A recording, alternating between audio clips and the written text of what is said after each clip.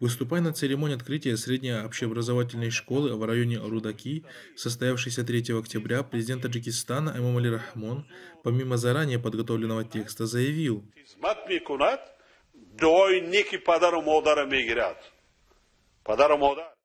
для двух групп лиц мусульман совершение хаджа не является обязательным. Это те, кто хорошо относится к своим родителям, и они довольны им. Вторая группа лиц – это те, кто за счет своих средств занимается строительством дорог, мостов, водоснабжением, или же посвящает себя полностью исследованиям для новых открытий во благо человечества.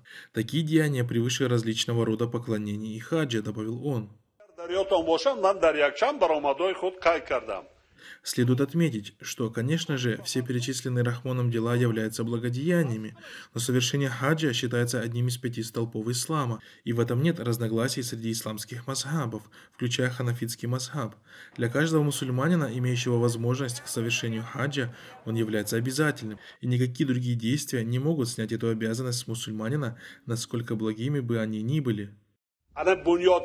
Что же касается строительства дорог, школ, мостов и обеспечения населения водоснабжением, по исламу это входит в прямую обязанность государства, а не отдельных ее граждан. Часть 4 статьи 152 проекта Конституции Исламского государства, подготовленного одной из международных исламских политических партий, гласит – из государственного бюджета Байтульмаль оплачиваются жизневажные общественные службы и отрасли хозяйства, как содержание дорог, мечетей, больниц и школ. При нехватке средств немедленно собираются дополнительные налоги для покрытия соответствующих расходов.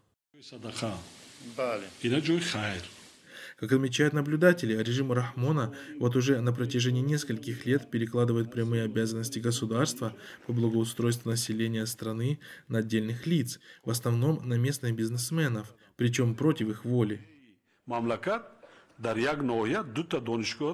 нест ҳам мактаби